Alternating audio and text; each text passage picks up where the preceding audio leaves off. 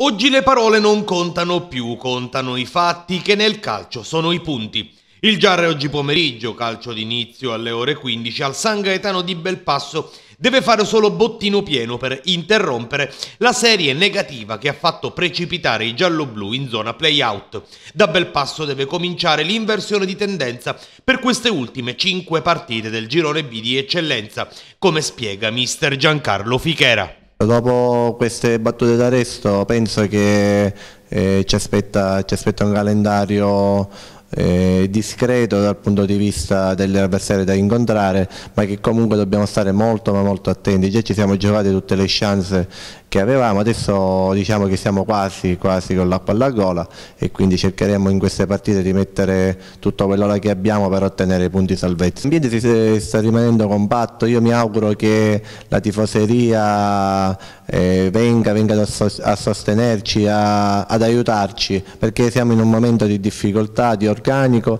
di anche qualche problema di condizione atletica dovuto anche ai vari infortuni, al rientro degli infortuni, abbiamo una, rosa in questo momento molto ristretta, quindi l'aiuto di tutti sarà, sarà, importante per ottenere questi punti fondamentali. La Donna ha fatto due allenamenti, è andata ad allenarsi con eh, la rappresentativa juniors regionale,